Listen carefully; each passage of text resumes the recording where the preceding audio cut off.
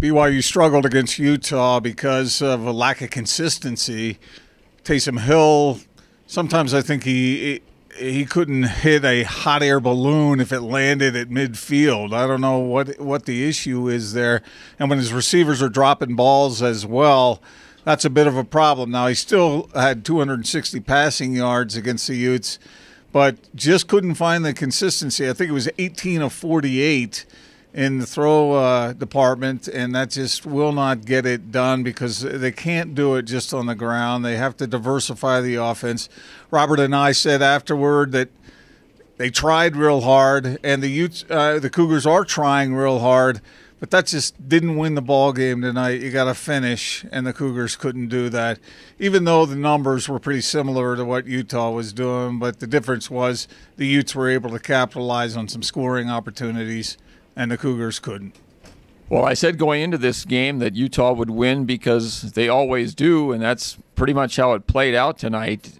You can make an argument that BYU outplayed Utah, certainly statistically, but it all comes down to the fact that BYU couldn't do more with 443 total yards than the 13 points the Cougars scored. Obviously, Utah did a lot of good things, including the 74 yard pass to Dres Anderson that set up a touchdown in the first half. That was critical. The Utes also sustained a really nice drive at the end of the third quarter, going into the fourth quarter, that ultimately proved to be the difference in the game. But BYU uh, itself did a lot of good things. I, I thought they showed some improvement on offense and, and moved the ball.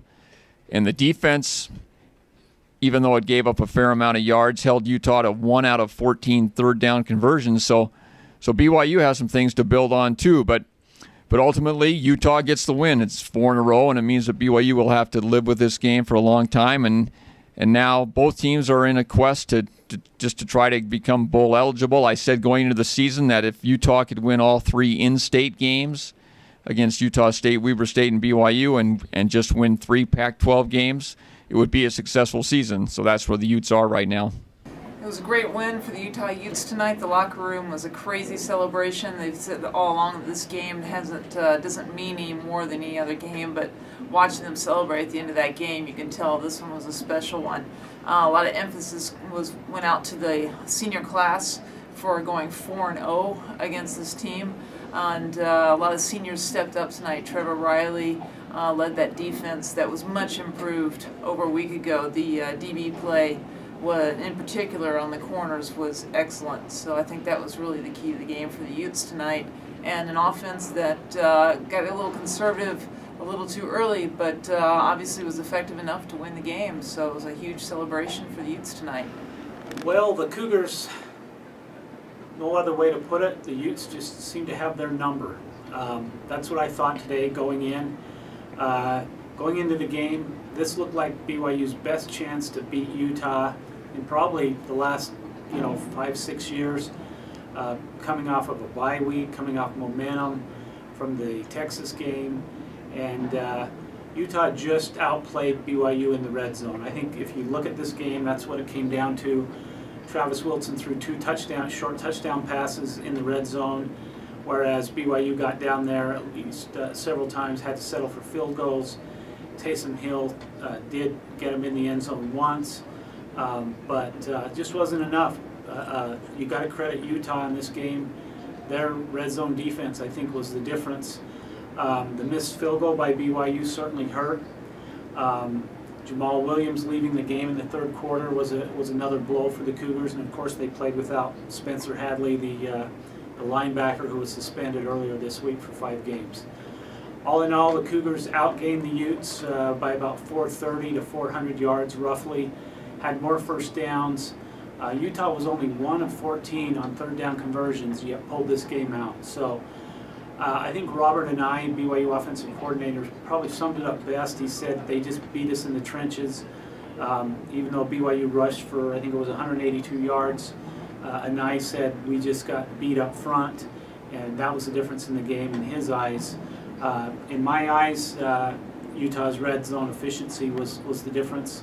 Uh, play of the game was made by Utah's Dres Anderson, the, the receiver, with a spectacular 74-yard uh, catch and run down to the one that set up one of Utah's touchdowns.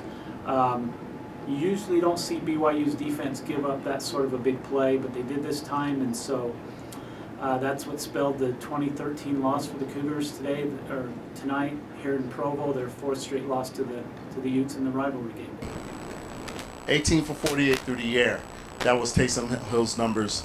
And at the end of BYU's 20 to 13 loss to Utah on Saturday night.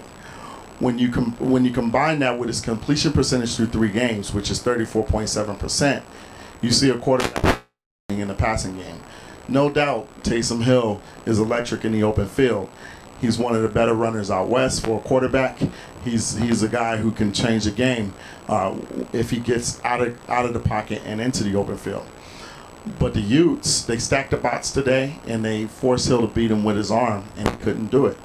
That leads to questions for BYU. How did they fix the offense heading into uh, Friday's game against Middle Tennessee? What BYU did tonight, they hung in there. They were tough. Bronco Mendenhall said they were, but at the end of the day, they didn't make the plays needed to pull off a win over over Utah.